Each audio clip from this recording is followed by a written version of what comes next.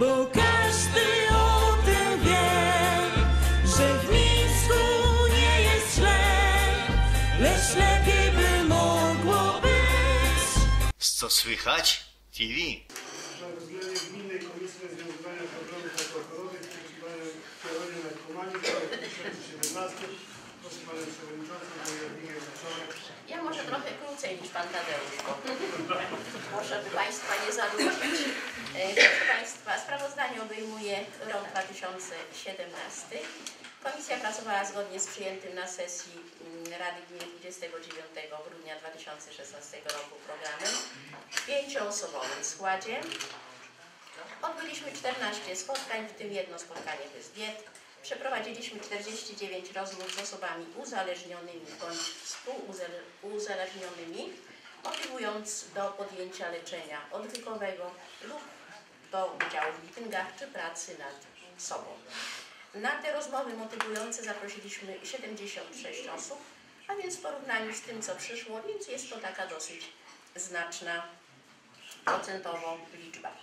W Urzędzie Gminy raz w miesiącu, wtedy kiedy mamy posiedzenia komisji, przyjmuje Pani terapeutka uzależnień. W klubie y, kulturalny zacisze Pani psycholog dwa razy w tygodniu, natomiast dwa razy w miesiącu, natomiast w urzędzie raz. Z porad terapeuty skorzystało 39 osób, z pomocy psychologa 52 osoby, z porad specjalistów Powiatowego Centrum Pomocy Rodzinie, z, którego, z którym to Urząd Gminy ma podpisaną umowę, skorzystało 45 osób. Ponadto wszystkie osoby, które mają ochotę wziąć udział w meetingach, tych, które są prowadzone w każdy piątek w klubie kulturalny Zacisze y, od godziny 18 do godziny 20. W inne dni też y, osoby uzależnione y, mogą brać udział. Bardzo chętnie Pan Sadowski swoim samochodem wozi do Mrozów, do Botunia, do Radowicza i spora część osób, tych, które chcą nad sobą pracować, z tej pomocy korzystają. W zakresie niesienia pomocy uzależnionym współpracujemy z Domem Pomocy Społecznej. Jest to taka praca od ubiegłego roku, ponieważ dyrekcja zwróciła się z prośbą, żebyśmy y, no, zapraszali, może w jakiś sposób pomożemy tym osobom, z którymi oni w zakładzie sobie nie radzą. Tych osób tam jest bardzo dużo, są to szczególnie mężczyźni, którzy w zasadzie pustego alkoholu nie mają żadnej innej odskoczni, tak jak mówią. W dodatku są to bardzo mm, uciążliwi pensjonariusze. No problemy są. Oni przyjeżdżają, są tu przywożeni przez y, opiekunów, y, prowadzimy z nimi rozmowy, korzystają z porad terapeutki uzależnień, ale takim jednym słowem określam, że ta pomoc jest taka dosyć mierna, ponieważ no, trudno do nich dotrzeć. Oni sami niby się otworzą, ale to tak na krótko i uważają, że nic innego już im nie pozostało, tylko taka droga, jaką wybrali. Zdajemy sobie wszyscy sprawę, że droga do trzeźwości jest bardzo długa, dlatego i nasze działania nie mogą być działaniami krótkotrwałymi, prawda, muszą to być działania długofalowe. Bardzo często idą w lata, rozmawiamy z ludźmi, spotykamy. Niektórym uda się pomóc, niektórym nie, bo z tej pomocy nie chcą korzystać i na własne życzenie kończą tak, jak kończą. Y, Komisja nie ma dużo pieniędzy, ale y, kiedy opiewa, w ubiegłym roku program nasz opiewał na kwotę 91 tysięcy. Y, Ponieważ jest tak duże zainteresowanie środkami z komisji na różne cele, dużo idzie na sport, dużo, dużo idzie na wypoczynek letni i zimowy, także na wycieczki różnego rodzaju. Dlatego też już w listopadzie te pieniążki były praktycznie rozdysponowane, ale na skutek zwiększenia środków budżet wzrósł nam i mieliśmy kwotę końcową 116 372 zł 24 grosze. Udało nam się wszystkie te podania, które były składane z prośbą o dofinansowanie rozpatrzyć pozytywnie. Nie zostaliśmy na minusie, no i dzięki temu wszyscy jakoś odrobinkę podratowali się.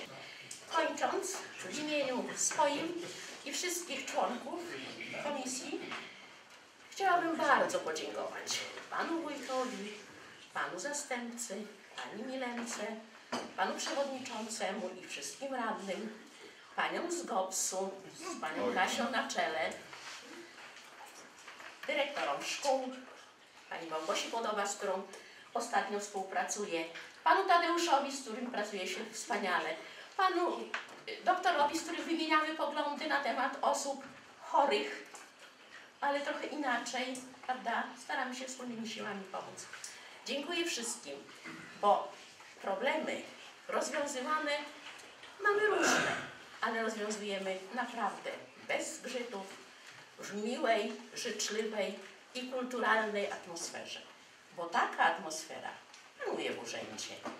I tylko dzięki właśnie ludziom dobrej woli, ludziom kulturalnym, ludziom spokojnym, którzy potrafią, potrafią rozumieć problemy innych uzależnionych, chcą im pomóc, wspierają ich i na takiej współpracy należy opierać nasze działania. Dziękuję bardzo wszystkim.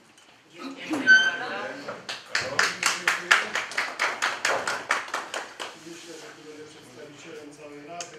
Chciałem tutaj na ręce Pani Przewodniczącej e, podziękować wszystkim członkom Komisji Antyalkoholowej. Mi się wydaje, że były takie słowa, że działalność tej komisji wzbogaca nasze społeczeństwo. Wszystkie te działania, które komisja robi, te pieniążki przeznacza na różne cele i jeżeli się uda komuś, chociaż jednej osobie pomóc, to jest to wzbogacenie naszego całego społeczeństwa. Bardzo dziękuję. Proszę Panie.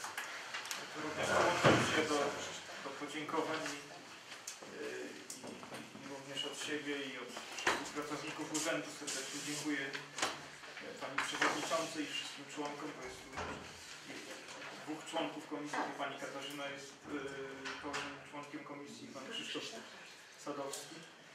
E, Także dziękuję za, za tą bardzo dobrą współpracę, za wspieranie ró- również innych gminnych inicjatyw, które można zakwalifikować jako również przeciwdziałanie alkoholizmowi. No i myślę, że dziękujemy tutaj za, za tą serce i pasję, którą wkładacie w to, aby tych ludzi z tych trudnych sytuacji wyciągać, bo to wartość sama w sobie i tak jak czasami udaje mi się bywać na spotkaniach, a to, to naprawdę ważne i, yy, i niesamowicie istotne, aby yy, ludzie, którzy się zagubili, a szukają tego momentu w życiu, aby e, złapać się wysoko ręką i podciągnąć e, tą pomoc tutaj e, między innymi przez działania komisji mogą otrzymać.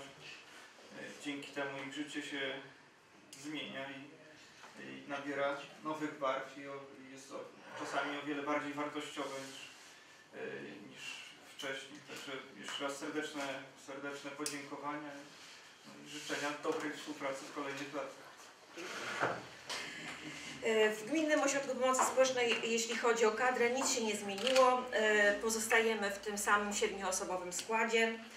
E, W 2017 roku wydałyśmy 6 milionów 513 tysięcy 409 zł 23 grosze. E, Z czego z budżetu państwa otrzymaliśmy 5 milionów 784 tysiące 944 złote i 5 groszy. Z budżetu gminy 728 465 zł 18 groszy. Y, Przygotowałam zestawienie takie tabelaryczne, y, które mówi o wydatkach na poszczególne zadania. Y, Nie wiem, czy to przeczytać y, wszystko po kolei, czy to, co omówiłam na komisji wystarczy. Dobrze, przejdę. Przejdę dalej. E, Jeśli chodzi o e, pomoc społeczną, e, w gminie Cegłów skorzystało e, z samej e, pomocy e, 149 rodzin, 363 osoby.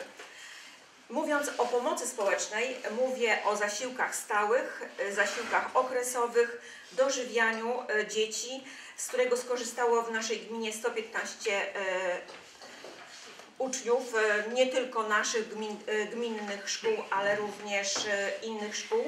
ale ci uczniowie zamieszkiwali na naszym terenie, zamieszkują na naszym terenie. Otrzymało 81 osób wsparcie w postaci zasiłków celowych na zakup opału, odzieży, żywności, na jakieś tam drobne remonty. Y, Poza tym y, schronienie z naszej gminy, y, to jest takie zadanie dla osób bezdomnych, było przeznaczone dla jednej osoby. Na tę osobę wydałyśmy y, pięć- y, 5726 zł.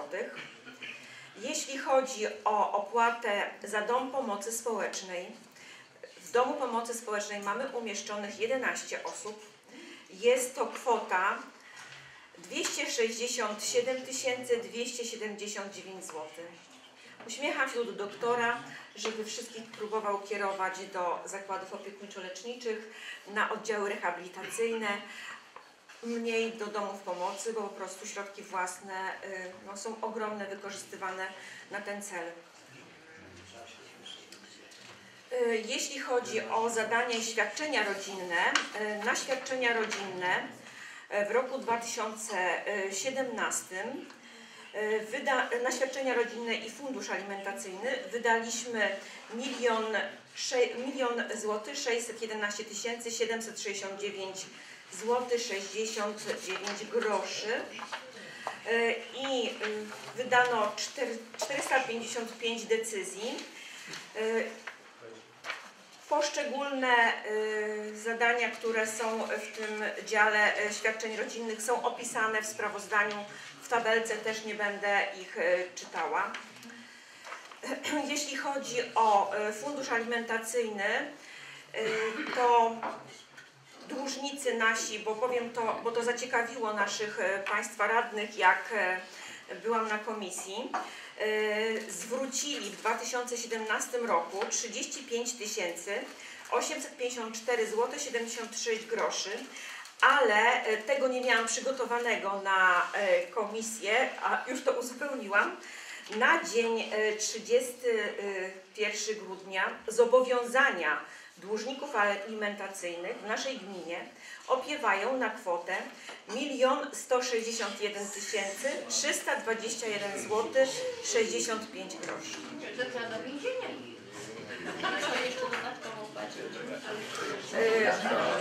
No akurat tutaj się nie zgodzę, bo, to dodatkowa opłata, yy, bo z, naszego, z naszych pieniążków, z naszych podatków w więzieniu ludzie byli utrzymywani, więc dobrze gdyby, gdyby pracowali i zwracali te środki w miarę możliwości.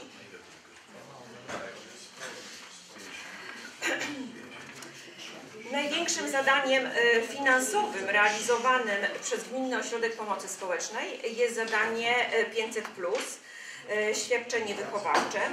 E, W tym roku e, na świadczenie e, wychowawcze wydaliśmy 3 755 188 zł. I przypominam jeszcze, że jeśli chodzi o kryterium dochodowe, to na drugie dziecko jest bez dochodu, a przy pierwszym dziecku jest to 800 zł bądź 1200, jeżeli w rodzinie jest osoba niepełnosprawna. Y, Skorzystało y, z tego świadczenia ponad, y, znaczy wypłaciliśmy w tym roku y, 7527 świadczeń na świadczenie wychowawcze. Wydaliśmy 483 decyzje. To tak pokrótce. Jeśli chodzi o inne działania naszego ośrodka, to rozdałyśmy e, 15 ton darów żywnościowych dla 460 mieszkańców naszej gminy, co stanowi 7,57%.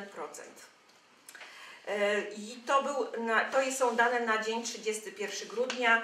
Na tę chwilę już wydajemy dla 460 osób.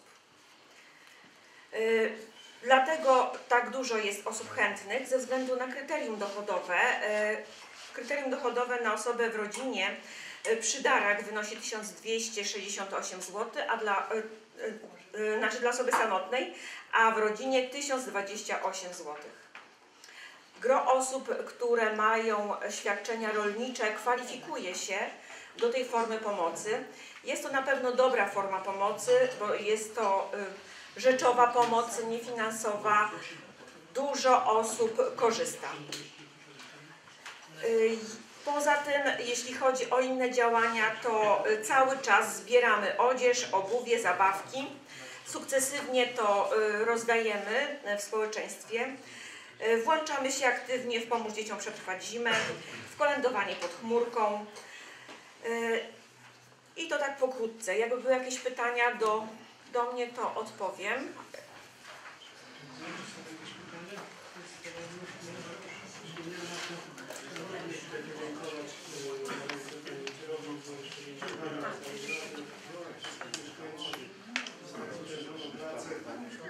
Się, że trudno jest do wszystkich dotrzeć, ale słyszę ze społeczeństwa, że jednak udaje się tą pomocą do tych najbardziej potrzebnych jednak Państwu dotrzeć i to jest bardzo zadowalające, że w naszej gminie tych ludzi, którzy są pominięci i zostają bez pomocy. Pan przewodniczący ubiegł, ubiegł mnie, bo ja myślałam, że będą jakieś pytania, że jeszcze będę mogła coś odpowiadać. E, A, a, a bardzo, bardzo serdecznie chciałam podziękować e, za współpracę, za wsparcie panu wójtowi, e, panu zastępcy, nieobecnej Milenie, państwu radnym na czele z panem przewodniczącym. Bardzo serdecznie dziękuję sołtysom za wsparcie przy tej inicjatywie, o której wspominał e, pan wójt. E, Gdyby nie takie poruszenie społeczne, pewnie by się to nie udało. Drżeliśmy wszyscy, ale udało się. E, Tak jak tutaj zapowiedział pan wójt, będzie to w miarę możliwości kontynuowane. E, Przy wsparciu oczywiście Gminnej Komisji, jeżeli nas będzie chciała wspierać dalej Ja finansowo. jestem w tej grupie 70 plus, to nie ma sprawy. i przy wsparciu e, dyrektora Letkowskiego, który, e, że tak powiem, odpowiadał za oprawę artystyczną. Wszystkim bardzo, bardzo serdecznie dziękuję, a Panie Pawle czekam. Ja mam jedno pytanie. Tak. Odnośnie tej zbiórki, tej odzieży i tych zabawek, czy macie jakieś wyznaczone terminy? Czy to, jeżeli ktoś ma do przekazania, może się umówić na jakiś konkretny dzień i po prostu... Jeżeli ktoś ma do przekazania, umawia się z nami i zapraszamy. Zawsze przyjmujemy, staramy się to jak najszybciej rozdać, bo warunki lokalowe są takie, jakie są. E, I po prostu rozdzielamy to i rozdysponowujemy wśród e, mieszkańców naszej gminy. E, Jeśli chodzi o zabawki, to poszły na loterii w czasie kolędowania pod chmurką. Było duże zainteresowanie, nawet kolejka.